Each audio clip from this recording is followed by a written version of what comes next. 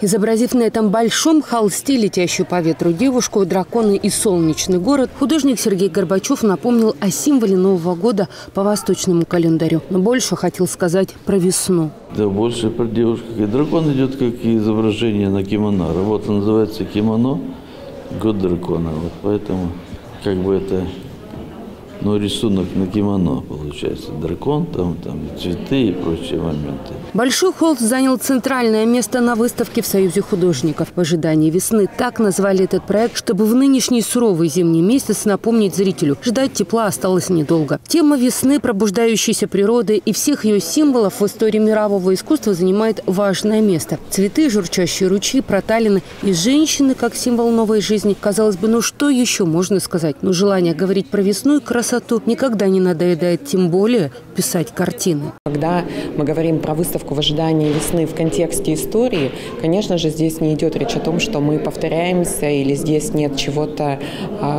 чего-то простого и обычного. А, более того, мы говорим про современных художников, которые интерпретируют э, уже взгляд современного человека на эти явления. И вот это исследование, тем более сравнение с э, предыдущими произведениями, это тоже очень интересное внутреннее путешествие. 100 картин, 58 авторов, среди них известные и признанные мастера. Цветов в этой экспозиции множество. Багульник и сирень – один из любимых образов приморских мастеров. А вот для художника Евгения Пихтовникова лучше лучшая весна в Тернее, в тайге. Мартовские этюды, весенние. Водичка уже растаяла. Но это на состояние, короткие этюды, ну, где-то часовые, полуторачасовые. Вот.